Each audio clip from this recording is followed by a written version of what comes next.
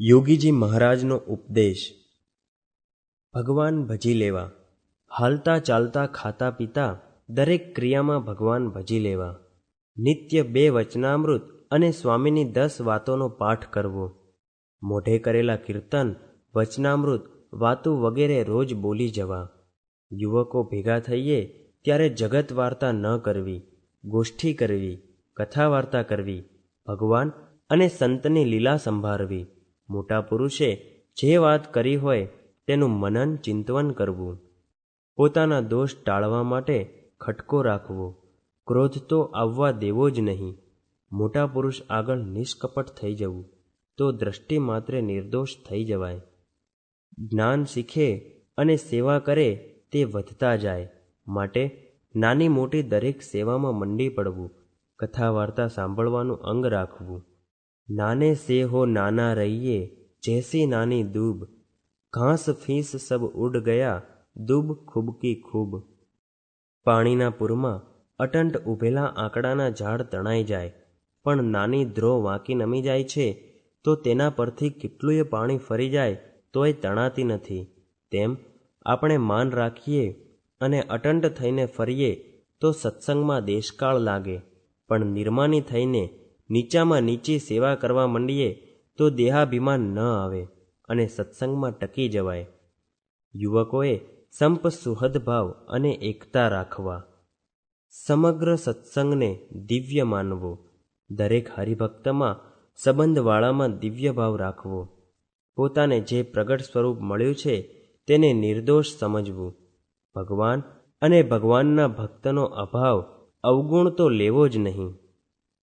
ઠઠ્ઠા મશ્કરી ન કરવા, છોડિયાપણું કે તોફાનીપણું ન રાખવું, શાંત સ્વભાવ કેળવવો.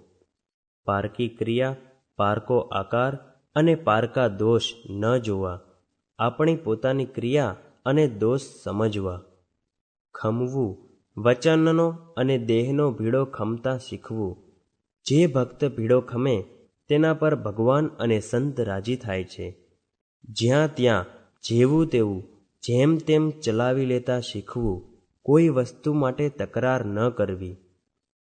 આપણે અગ્નિ જેવા થવું પણ પાણી જેવા ન થવું અગ્નિમાં જે રંગ નાખીએ, તે અગ્નિના રંગ જેવો થઈ જાય, પણ પાણીમાં જે રંગ નાખીએ, તે તરત પાણીનો રંગ બદલી નાખે.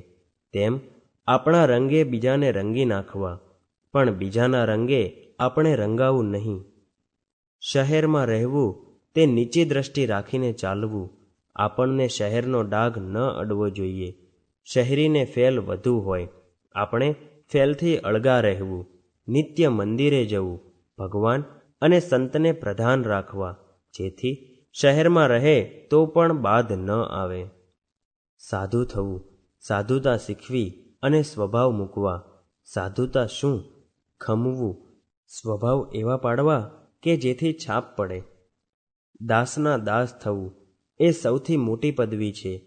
માટે પતરાવળા ઉપાડવા, વાસણ ઉટકવા, હરિભક્તોના કપડાં ધોઈ દેવા, મંદિરના પાયખાના ધોવા અને ચોકા સાફ રાખવા.